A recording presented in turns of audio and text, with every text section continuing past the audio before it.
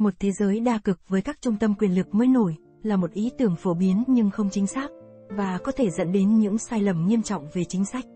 Một trong những lập luận được các chính trị gia, nhà ngoại giao và nhà quan sát chính trị quốc tế lặp đi lặp lại nhiều nhất là thế giới đang hoặc sẽ sớm trở thành đa cực. Trong những tháng gần đây, lập luận này đã được đưa ra bởi Tổng thư ký Liên Hiệp Quốc Antonio Guterres, Thủ tướng Đức Olaf Scholz, Ngoại trưởng Đức Annalena Baerbock, Tổng thống Pháp Emmanuel Macron, Tổng thống Brazil Luiz Inácio Lula da Silva và Tổng thống Nga Vladimir Putin. Joseph Borrell, cao ủy đặc trách đối ngoại của Liên minh châu Âu, lập luận rằng thế giới đã trở thành một hệ thống đa cực phức tạp kể từ cuộc khủng hoảng tài chính toàn cầu năm 2008. Ý tưởng này cũng đang được phổ biến trong giới kinh doanh, ngân hàng đầu tư Morgan Stanley gần đây đã xuất bản một bài viết về chiến lược, điều hướng trong một thế giới đa cực, trong khi INSEAD, một trường kinh doanh nổi tiếng ở châu Âu, lại tập trung vào kỹ năng lãnh đạo trong một thế giới như vậy. Bất chấp những gì các chính trị gia, học giả và chủ ngân hàng đầu tư nói với chúng ta, việc cho rằng thế giới ngày nay là thế giới đa cực chỉ là chuyện hoang đường. Lý do rất đơn giản, sự phân cực ám chỉ số lượng, các cường quốc trong hệ thống quốc tế và để thế giới trở thành đa cực, phải có ít nhất 3 cường quốc. Ngày nay, chỉ có hai quốc gia sở hữu quy mô kinh tế, sức mạnh quân sự và đòn bẩy toàn cầu đủ lớn để tạo thành một cực, Mỹ và Trung Quốc. Các cường quốc khác vẫn chưa xuất hiện và sẽ không sớm xuất hiện. Việc tồn tại các cường quốc bậc trung đang trỗi dậy, cũng như các quốc gia không liên kết, với dân số đông và nền kinh tế đang phát triển, không làm cho thế giới trở nên đa cực. Sự thiếu vắng cực thứ ba trong hệ thống quốc tế sẽ trở nên rõ ràng hơn nếu chúng ta nhìn vào các ứng viên có thể trở thành cường quốc. Năm 2021, với tốc độ phát triển nhanh chóng, Ấn Độ là nước chi tiêu lớn thứ ba cho quốc phòng một chỉ số để đo lường quyền lực. Nhưng theo số liệu mới nhất của Viện Nghiên cứu Hòa bình Quốc tế Stockholm, ngân sách quân sự của nước này chỉ bằng 1 phần 4 ngân sách của Trung Quốc. Và con số thực chất của Trung Quốc có lẽ cao hơn chúng ta nghĩ. Ngày nay, Ấn Độ vẫn chủ yếu tập trung vào sự phát triển của chính họ với lực lượng đối ngoại yếu kém, trong khi lực lượng hải quân một thước đo quan trọng về đòn bẩy. Ở Ấn Độ Dương Thái Bình Dương vẫn khá nhỏ so với hải quân của Trung Quốc, quốc gia đưa vào hoạt động, tải trọng tàu hải quân lớn gấp 5 lần chỉ trong vòng 5 năm qua. Đúng là Ấn Độ một ngày nào đó, có thể sẽ trở thành một cực trong hệ thống, nhưng ngày đó thuộc về tương lai xa. Sự giàu có về kinh tế là một chỉ số khác cho khả năng sở hữu quyền lực. Nhật Bản có nền kinh tế lớn thứ ba thế giới, nhưng theo số liệu mới nhất của Quỹ tiền tệ quốc tế, GDP của nước này chưa bằng 1 phần 4 của Trung Quốc. GDP của Đức, Ấn Độ, Anh và Pháp bốn nền kinh tế lớn tiếp theo trên thế giới thậm chí còn nhỏ hơn.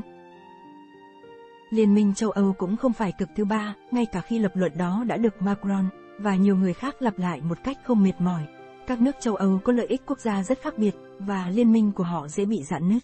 Dù Liên minh châu Âu khá đoàn kết trong việc hỗ trợ Ukraine, đơn giản là không tồn tại một chính sách quốc phòng, an ninh hoặc đối ngoại thống nhất nào cho toàn châu Âu. Phải có lý do thì Bắc Kinh, Moscow và Washington mới thảo luận với Paris và Berlin nhưng hiếm khi tìm đến Bruxelles. Tất nhiên, Nga là một ứng viên tiềm năng cho vị thế cường quốc, dựa trên diện tích lãnh thổ, tài nguyên thiên nhiên phong phú và kho dự trữ vũ khí hạt nhân khổng lồ. Nước này chắc chắn có tác động vượt ra ngoài biên giới. Họ đang tiến hành một cuộc chiến lớn ở châu Âu, theo đó thúc đẩy Phần Lan và Thụy Điển gia nhập NATO. Tuy nhiên, với nền kinh tế nhỏ hơn nền kinh tế của Italy, và ngân sách quốc phòng chỉ bằng 1 phần 4 ngân sách Trung Quốc, Nga không đủ tư cách là cực thứ ba trong hệ thống quốc tế. Nhiều nhất, Nga chỉ có thể đóng vai trò hỗ trợ cho Trung Quốc. Một lập luận phổ biến của những người tin vào trật tự đa cực là sự trỗi dậy của thế giới phương Nam và vị thế ngày càng thu hẹp của phương Tây.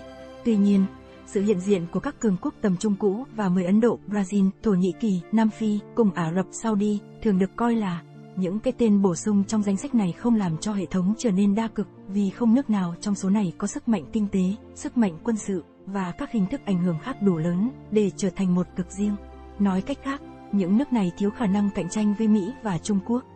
Dù đúng là tỷ trọng của Mỹ trong nền kinh tế toàn cầu đang giảm dần, nhưng nước này vẫn giữ được vị trí thống trị, đặc biệt khi đem so sánh với Trung Quốc. Hai cường quốc chiếm một nửa tổng chi tiêu quốc phòng của thế giới, và tổng GDP của họ gần bằng GDP của 33 nền kinh tế lớn tiếp theo cộng lại.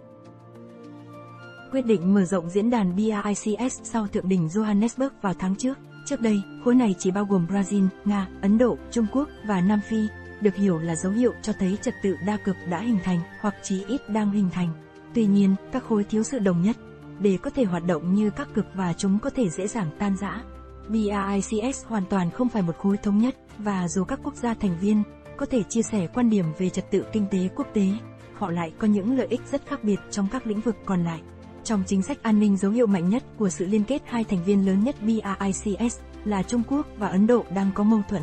Quả thật, sự trỗi dậy của Bắc Kinh đang thúc đẩy New Delhi liên kết chặt chẽ hơn với Mỹ. Vậy, nếu thế giới không đa cực, thì tại sao lập luận đa cực lại được ưa chuộng đến vậy? Ngoài việc nó đã phớt lờ các sự kiện và khái niệm về quan hệ quốc tế, có ba nguyên nhân giải thích cho xu hướng này. Đầu tiên, đối với nhiều người ủng hộ ý tưởng đa cực, nó là một khái niệm mang tính chuẩn tắc. Nó là một cách khác để nói hoặc để hy vọng rằng thời đại thống trị của phương Tây đã kết thúc và quyền lực của họ đang hoặc sẽ biến mất. Guterres coi đa cực là một cách để điều chỉnh thiếu sót của chủ nghĩa đa phương và mang lại sự cân bằng cho hệ thống thế giới. Đối với nhiều nhà lãnh đạo châu Âu, trật tự đa cực là lựa chọn thay thế, được ưa thích cho trật tự lưỡng cực, bởi vì trật tự đa cực được cho là sẽ tạo điều kiện tốt hơn cho một thế giới, được quản lý bởi các luật lệ, cho phép hợp tác toàn cầu với các chủ thể đa dạng, và ngăn chặn sự xuất hiện của các khối mới. Khuôn khổ đa phương chắc chắn đang không hoạt động như mong đợi, và nhiều người ở phương Tây coi ý tưởng đa cực là một hệ thống công bằng hơn, một cách tốt hơn để vực dậy chủ nghĩa đa phương, và là cơ hội để khắc phục sự mất kết nối, ngày càng tăng với các nước phương Nam. Nói cách khác, niềm tin vào một trật tự đa cực không tồn tại, chỉ là một phần trong vô số những hy vọng và ước mơ về một trật tự toàn cầu. Lý do thứ hai khiến ý tưởng đa cực trở nên thịnh hành là sau ba thập niên toàn cầu hóa và tương đối hòa bình, các nhà hoạch định chính sách, nhà bình luận và học giả ngày nay rất khó chấp nhận thực tế của một thế giới căng thẳng và phân cực trên cơ sở cạnh tranh lưỡng cực giữa Mỹ và Trung Quốc. Về mặt này, niềm tin vào đa cực là một kiểu trốn tránh và là biểu hiện của mong muốn rằng sẽ không xảy ra một cuộc chiến tranh lạnh nào nữa. Thứ ba, những luận điệu về đa cực thường là một phần của trò chơi quyền lực. Bắc Kinh và Moscow coi đa cực là một cách để hạn chế sức mạnh của Mỹ và nâng cao vị thế của chính họ. Trở lại năm 1997, khi Mỹ là cường quốc thống trị, Nga và Trung Quốc đã ký tuyên bố chung về thế giới đa cực và thiết lập trật tự quốc tế mới. Dù ngày nay Trung Quốc đã trở thành một cường quốc, nhưng nước này vẫn coi Mỹ là thách thức chính của mình. Cùng với Moscow, Bắc Kinh sử dụng ý tưởng đa cực như một cách để tầng bốc phương Nam và thu hút các nước này tin vào mục tiêu của Trung Quốc. Đa cực là chủ đề trọng tâm trong chiến dịch ngoại giao quyến rũ của Trung Quốc xuyên suốt năm 2023. Trong khi đó, tại hội nghị thượng đỉnh Nga Châu Phi vào tháng 7, Putin tuyên bố rằng các nhà lãnh đạo tham dự đã đồng ý thúc đẩy một thế giới đa cực. Tương tự, khi các nhà lãnh đạo của các cường quốc tầm trung đang lên, thúc đẩy ý tưởng về đa cực chẳng hạn như Lula ở Brazil thì đó thường là một nỗ lực nhằm định vị đất nước của họ như một quốc gia không liên kết hàng đầu. Người ta có thể tự hỏi liệu sự phân cực và những quan niệm sai lầm phổ biến về nó có quan trọng hay không? Câu trả lời đơn giản là số lượng cực trong trật tự toàn cầu có ý nghĩa rất lớn và những quan niệm sai lầm đã cản trở tư duy chiến lược, cuối cùng dẫn đến những chính sách sai lầm. Sự phân cực có tầm quan trọng vì hai lý do sau đây. Thứ nhất, các quốc gia phải đối mặt với những mức độ hạn chế khác nhau đối với hành vi của họ trong các hệ thống đơn cực, lưỡng cực và đa cực, theo đó đòi hỏi các chiến lược và chính sách khác nhau. Ví dụ, chiến lược an ninh quốc gia mới của Đức được công bố vào tháng 6, khẳng định rằng môi trường an ninh và quốc tế đang trở nên đa cực hơn và kém ổn định hơn. Các hệ thống đa cực thực sự bị cho là kém ổn định hơn các hệ thống đơn cực và lưỡng cực. Trong các hệ thống đa cực, các cường quốc xây dựng các liên minh nhằm tránh tình trạng một quốc gia thống trị các quốc gia khác, nên việc một cường quốc thay đổi liên minh có thể dẫn đến việc liên tục tái cấu trúc liên minh và nhiều thay đổi đột ngột khác. Ngược lại, trong hệ thống lưỡng cực, hai siêu cường chủ yếu cân bằng lẫn nhau và họ luôn biết rõ ai là đối thủ chính của mình.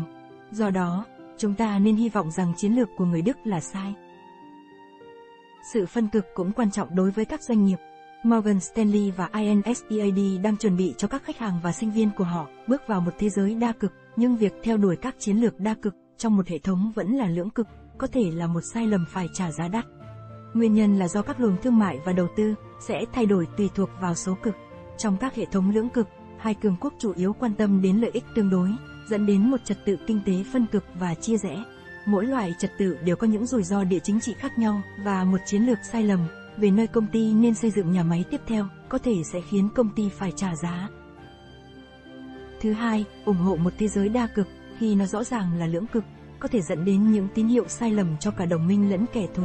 Tình hình quốc tế chấn động sau những phát biểu của Macron trong chuyến thăm Trung Quốc hồi tháng 4 đã minh họa cho quan điểm này.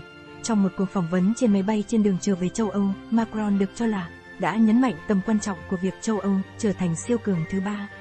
Việc ông sẵn sàng quảng bá ý tưởng đa cực đã làm phật lòng các đồng minh của Pháp ở Washington và châu Âu.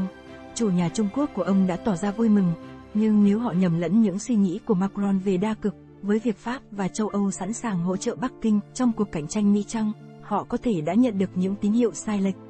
Một hệ thống đa cực có thể ít phân cực hơn, so với một hệ thống chỉ có hai siêu cường đối địch, nhưng nó không nhất thiết dẫn đến một thế giới tốt đẹp hơn. Thay vì là giải pháp nhanh chóng cho chủ nghĩa đa phương, nó có thể khiến quá trình khu vực hóa trở nên sâu rộng hơn. Thay vì kiên định với ý tưởng đa cực và tiêu tốn tài nguyên vào một hệ thống không tồn tại, một chiến lược hiệu quả hơn sẽ tìm kiếm những giải pháp và nền tảng tốt hơn cho đối thoại trong hệ thống lưỡng cực hiện có. Về lâu dài, thế giới thực sự có thể trở nên đa cực, trong đó Ấn Độ là ứng viên tiềm năng nhất, sẽ gia nhập hàng ngũ của Mỹ và Trung Quốc. Tuy nhiên, ngày đó vẫn còn rất xa.